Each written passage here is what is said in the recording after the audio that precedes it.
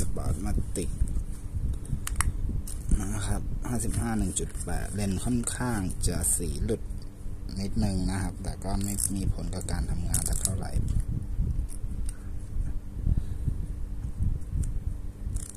อ่าโอเค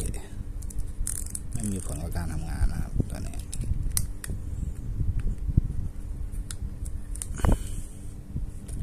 มาดูกล้องก็ช่องมาส์ครับอืม การงานวัดแสงเนี่ยคือ เราต้องกดตัวนี้เปิดขึ้นมานะครับ เพื่อให้มันทำงานวัดแสงเข็มก็จะทำงานเวลากดชัตเตอร์หนึ่งครั้งเนี่ยตัวนี้มันจะดีดลง แสดงว่าครั้งต่อไปเราขึ้นฟิล์มนะครับ เราต้องมาเปิดวัดแสงตัวนี้ตลอด มันจะอันนี้คือระบบของมันนะครับ ก็ง่ายๆเลยก็คือทำไงก็ได้ครับ ปรับสปีดนะครับ ปรับรูรับแสงนะครับ ให้เข็มวัดแสงเนี่ย มันมาอยู่ตรงกลางให้ได้ นะครับ อะเดี๋ยวผมเทวัดแสง มือป้องหน้าเลนนะครับเห็นวัดแสงทำงานนะครับ โอเค แล้วก็ปรับ ISO ดึงวงแหวนขึ้นครับแล้วหมุน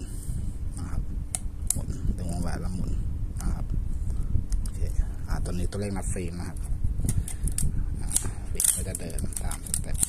มา test speed ครับ speed หนึ่งครับ สองครับ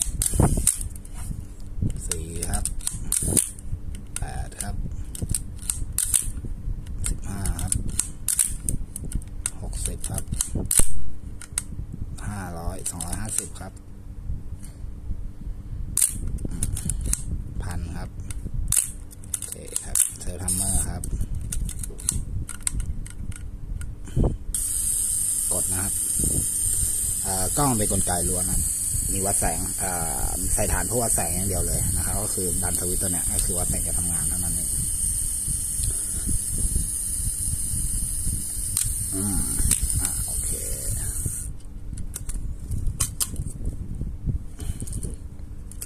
ไปครับ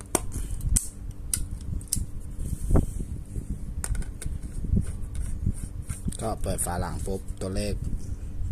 ก็จะรันเป็นศูนย์นับฟรีมานะครับ โอเคครับ